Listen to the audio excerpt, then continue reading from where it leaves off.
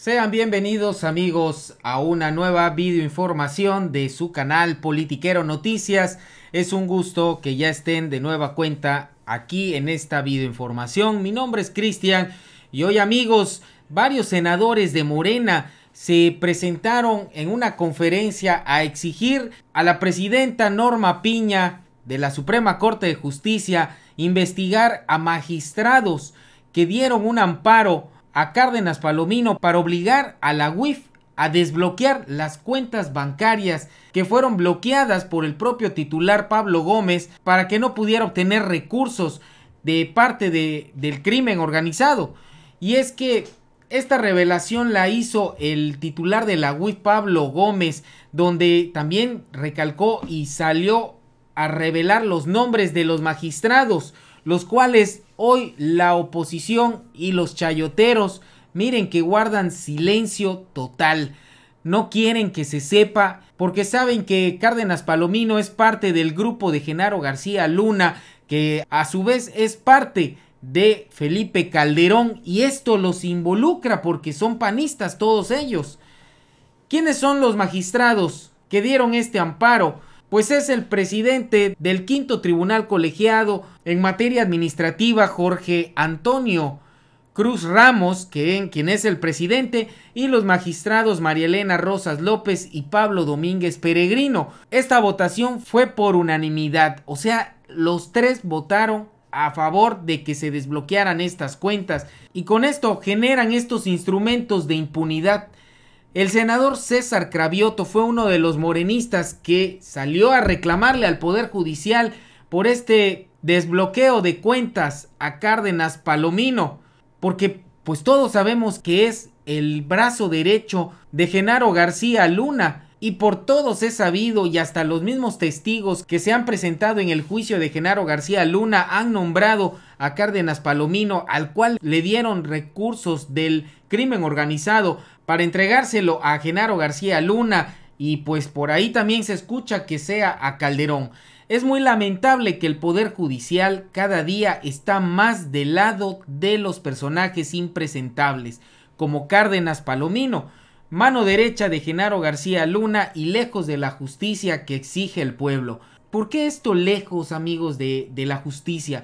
Porque parece que el, el Poder Judicial trabaja en favor de criminales como Genaro García Luna, Cárdenas Palomino. ¿Por qué? Porque los dejan hacer a sus anchas. Y cuando ciudadanos comunes son aprendidos para que los puedan liberar, Dios mío, es, es algo terrible, o sea, eh, un escenario catastrófico donde prácticamente han pasado por años muchos mexicanos que ni siquiera hasta el día de hoy tienen sentencia, mientras que con Cárdenas Palomino casi inmediatamente están liberando amparos para que puedan hacer y deshacer con ese dinero, le dan poder a los criminales. Por eso el presidente estaba en contra de la prisión preventiva oficiosa, que ese es por otro por otro tipo de crímenes, pero al final de cuentas, al tener la presunción de que pudieran haber cometido algún delito y por los recursos con los que cuentan estos criminales, pues los detienen y los meten a prisión hasta que se lleve a cabo el, juicio o una sentencia. Pero esto no sucede con el pueblo. Este tipo de desbloqueos y liberaciones sucede con los criminales y esto es lo que realmente causa mucho coraje en la población. Así que vamos a escuchar lo que declaró en conferencia de prensa estos morenistas, pero principalmente el senador César Cravioto. Nos parece muy lamentable que el Poder Judicial en este país cada día está más del lado de los delincuentes que del interés nacional. Es verdaderamente aberrante que al señor Cárdenas Palomino, brazo derecho de García Luna y brazo izquierdo de Felipe Calderón, con toda la evidencia que hay de actos de corrupción y de haber sido uno de los artífices de entregarle de entregar las instituciones del país al crimen organizado, un juez haya decidido que puede utilizar libremente el dinero que tiene en sus cuentas, el dinero mal habido, justamente por sus nexos con el crimen organizado. Yo le pregunto al Poder Judicial de este país si ya va a ser la línea que van a tomar de estar respaldando a quienes utilizando sus cargos públicos eh, le han hecho tanto daño al país. ¿Dónde queda la justicia? ¿Dónde queda lo que está clamando el pueblo de México? Que se haga justicia, que se castigue a quien utilizando su cargo le hace tanto daño al país. Ayer en el debate que tuvimos aquí en el Pleno, decían, no me acuerdo qué senador, qué senadora de la derecha, que por qué que qué lástima que no se juzga a García Luna en México. Pues con ese poder judicial que tenemos lo van a declarar inocente y hasta perdón le vamos a tener que pedir. Qué bueno que está siendo juzgado en Nueva York. Y luego dicen que hay que respetar la división de poderes, por supuesto que hay que respetarla, pero desde el poder legislativo de este país le exigimos al poder judicial que actúe a favor de la justicia y del pueblo de México y no a favor de los delincuentes. Ya estuvo bueno esos jueces que no están haciendo su función. Y también le pedimos a la ministra de la Corte y presidenta del Consejo de la Judicatura, y también lo quiero decir a los compañeros del Consejo de la Judicatura que ya fueron elegidos por esta por este Senado, que actúen, que investiguen por qué esos jueces están tomando esas decisiones, que les revisen sus patrimonios, que les revisen sus intereses, que los suspendan hasta que no se aclaren estas resoluciones. Están los temas, por ejemplo, de la, de la saxofonista, que solo porque hubo un escándalo no se liberó a su, a su violentador, pero casos y casos y casos vemos y luego decimos, ¿y por qué tanta impunidad? ¿Y por qué tanta delincuencia? ¿Y por qué tanta corrupción en este país? Pues es que el, poder judicial de este país no está dando justicia. Entonces, un reclamo muy fuerte que hace el grupo parlamentario de Morena en el Senado de la República al Poder Judicial de este país para que no sigan ocurriendo los hechos que hoy relató Pablo Gómez. Que se castigue a esos jueces, que haya de una vez por todas un poder judicial que actúe en favor de las y los mexicanos. Y que no nos digan, ah, es que la ley es la ley, es que faltó una coma en el procedimiento y por eso le liberamos las cuentas a este delincuente. Ah, es que el procedimiento le faltó que fuera en negritas y subrayado y por eso liberamos esta eh, a este delincuente o le dimos un amparo a este señor o, le o al que violentó a la saxofonista, no, pues que se vaya a su casa porque casi no hizo nada el señor, que salió viva la saxofonista, no es para tanto. No, ya estuvo bueno. Y vamos a insistir una y otra vez, aunque no le guste al Poder Judicial, desde la libertad que tenemos desde el otro poder, vamos ya a empezar a señalar con nombre y apellido a los jueces que están tomando decisiones en contra del pueblo de México. Y ahí le pedimos, ahí, si me pueden dar el nombre del juez para que también se sepa, porque luego en el anonimato el juez y el juez, la jueza, el ministro, la ministra, pero no, ya hay que dar su nombre y apellido, porque ya estuvo bien que desde el anonimato estén cometiendo estos atropellos. Bien, pues eso lo queríamos comentar. Bueno, por supuesto que tenemos que eh, denunciar con nombre y apellido. ¿Quiénes fueron estos eh, ministros, estos magistrados, no ministros, estos magistrados que le dan eh, la facilidad a Cárdenas Palomino que del el recurso que obtuvo por aliarse al crimen organizado pueda disponer de él? Los magistrados José Antonio Cruz Ramos, María Elena Rosas y Pablo Domínguez Peregrina.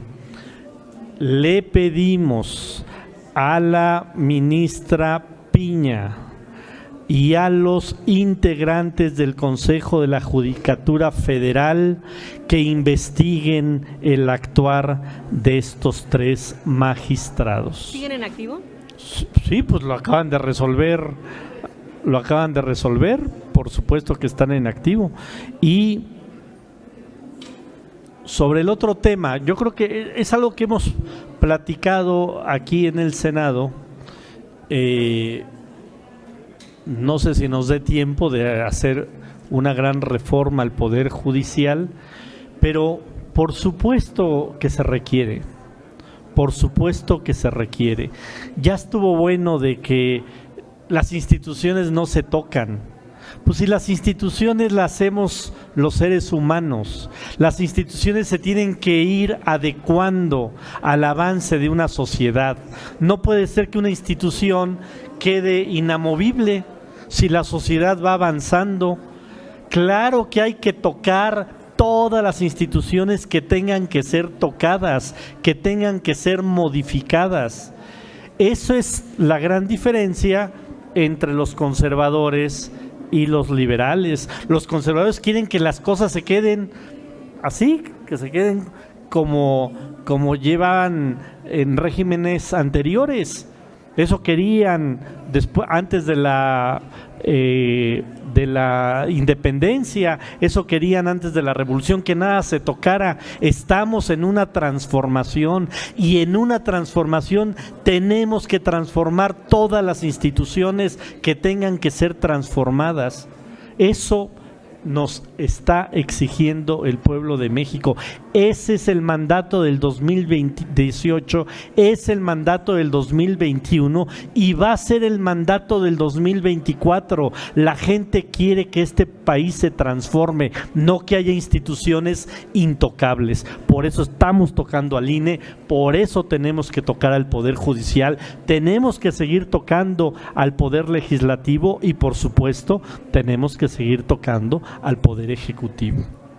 Pues este ministro de la Suprema Corte de Justicia fue quien elaboró la jurisprudencia para amparar a presuntos delincuentes de lavado de dinero, como el caso de Cárdenas Palomino. Fue Eduardo Medina Mora, quien era ex jefe de García Luna e involucrado también en la operación Rápido y Furioso. Conozcan el rostro de este ministro. Ha servido a los intereses de la oligarquía y de los grupos criminales. También el, el magistrado que votó a favor de que se desbloquearan las cuentas bancarias de Cárdenas Palomino.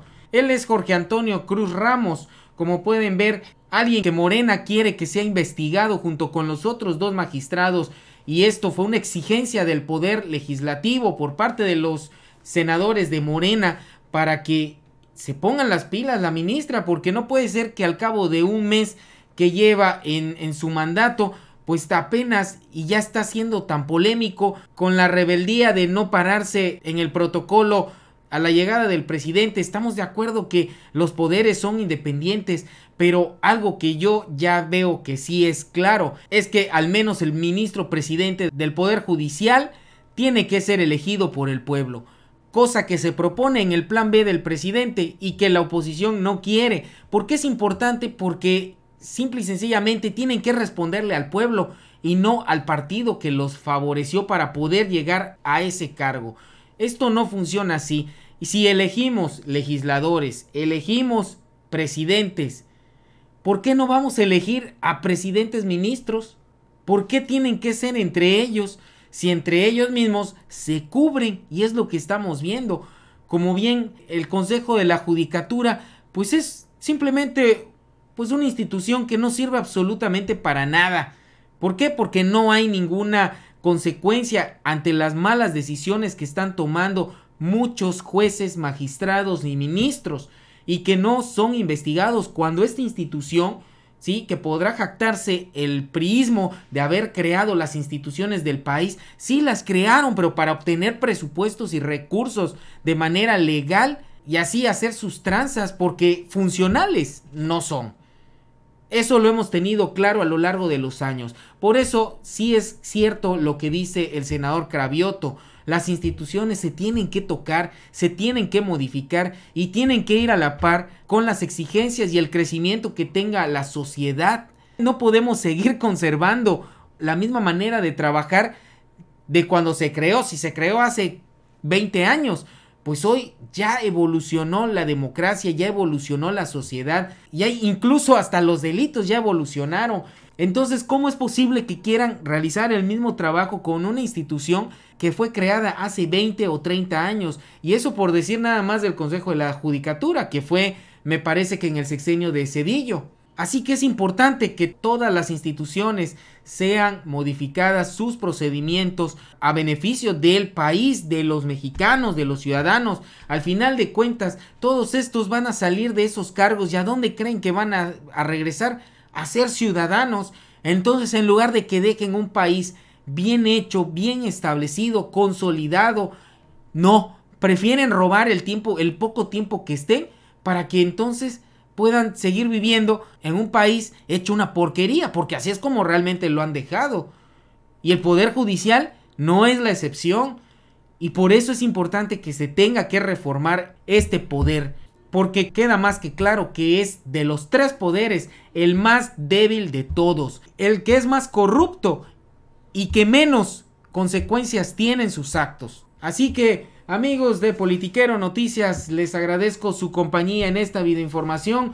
Los invito a suscribirse al canal Politiqueros.